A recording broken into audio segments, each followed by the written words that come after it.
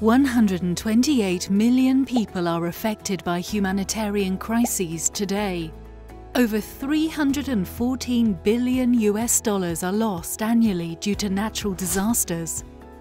Businesses have influence, networks, skills, technologies, expertise, services, finance, and people to offer to support their communities before, during, and after emergencies.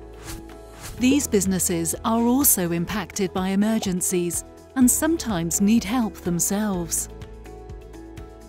Minimizing disruptions and supporting economies to recover as quickly as possible is good for business and for communities. But how do we make sure that we collectively utilize what businesses have to offer and also support them through emergencies? What if governments, the United Nations, communities and the private sector worked together to address the major challenges we are facing? More than 900 companies all over the world planned with the United Nations how they could be better engaged as strategic partners, providing groundbreaking solutions.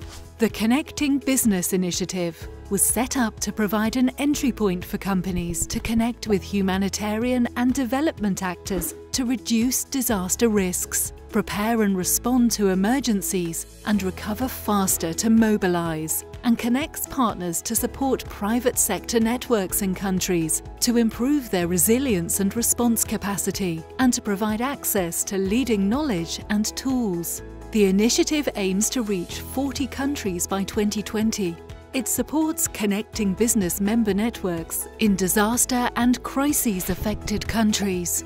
Member networks mobilize partners, assess and address their own vulnerabilities to crises, put in place measures for business continuity, plan how they can contribute in case an emergency strikes, connect to government coordination structures and support communities by, for example, repairing schools and fixing telephone lines. The Connecting Business Initiative is bringing networks together to learn and do things better and faster, with more and more members joining every day. Visit www.connectingbusinessinitiative.org and start connecting.